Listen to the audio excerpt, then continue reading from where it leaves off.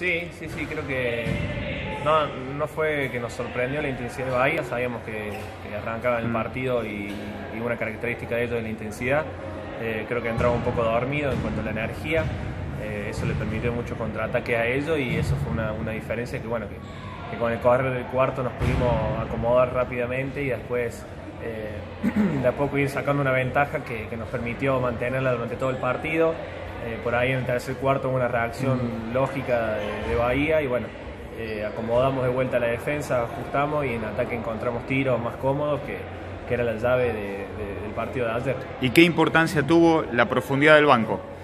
Eh, es clave, creo que mientras seamos un equipo más largo, con mayor rotación, encontramos más variables, encontramos eh, distintas alternativas, distintas maneras de atacar el aro.